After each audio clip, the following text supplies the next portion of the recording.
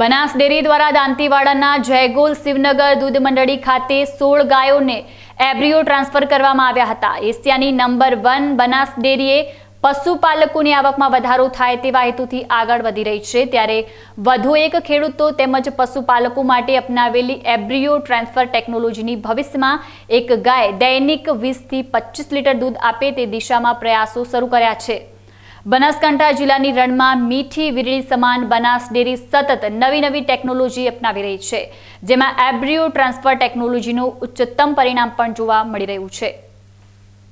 કાંગ્રેજ ગાયની ઉત્કૃષ્ટ ઓલાદુમાં વધારો થાય અને પશુપાલકો પશુ દીઠ વધુ દૂધ ઉત્પાદન કરી પશુપાલક આર્થિક રીતે વધુ મજબૂત બને તે હેતુ સાથે બનાસ ડેરીના ચેરમેન શંકરભાઈ ચૌધરીએ વર્ષ બે હજાર એકવીસમાં એબ્રિયો ટ્રાન્સફર ટેકનોલોજીનો શુભારંભ કરાવ્યો હતો. જેમાં આજે દાંતીવાડા તાલુકાના જેગોલ ગામે શિવનગર દૂધ મંડળી ખાતે બનાસ મેડિકલ કોલેજના ચેરમેન બનાસ ડેરીના ડાયરેક્ટર પીજે ચૌધરીના અધ્યક્ષસ્થાને ગર્ભ પ્રત્યારોપણ કાર્યક્રમ યોજાયો હતો.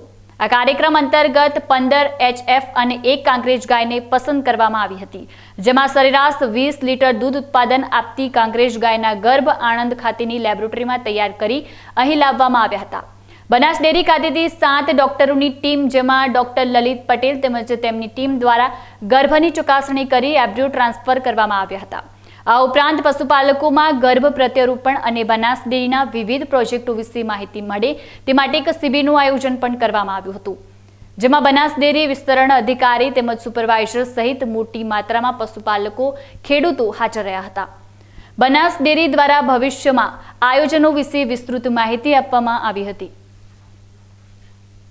જેમાં બનાસ ડેરીના ડીએચ વિભાગના ડોક્ટર હરિભાઈ પટેલના માર્ગદર્શન હેઠળ ડોક્ટર આર જોશી દ્વારા ગર્ભ પ્રત્યારોપણ વિશે માહિતી આપવામાં આવી હતી. પશુપાલન વ્યવસાયમાં ઝડપી પ્રગતિ અને પશુ દીઠ દૂધ ઉત્પાદનમાં વધારો કરવા ઉમદા હેતુ બનાસ ડેરીએ એબ્રિયો ટ્રાન્સફર ટેકનોલોજીનો અમલ શરૂ કર્યો છે. બનાસ ડેરીએ પોતાના નવા નવા સરકારી વ્યવસાયોમાં વૈજ્ઞાનિક અભિગમ અપનાવીને આગળ વધી રહી છે, જેનો ફાયદો પશુપાલકો, ખેડૂતો અને જિલ્લાને મળી રહ્યો છે.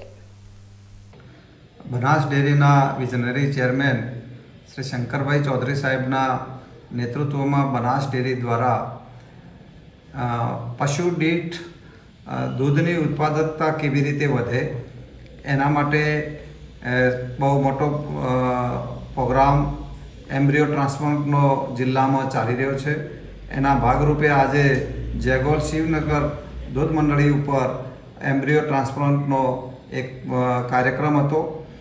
શંકરભાઈ સાહેબના વિઝન પ્રમાણે અને મોદી સાહેબનું જે વિઝન છે કે ખેડૂતોની આવક ડબલ કરવી, એના માટે પશુ દીઠ દૂધ ઉત્પાદકતા વધે, એના માટે આ એમ્બ્રિયો ટ્રાન્સફરનો કાર્યક્રમ કરવામાં આવ્યો છે.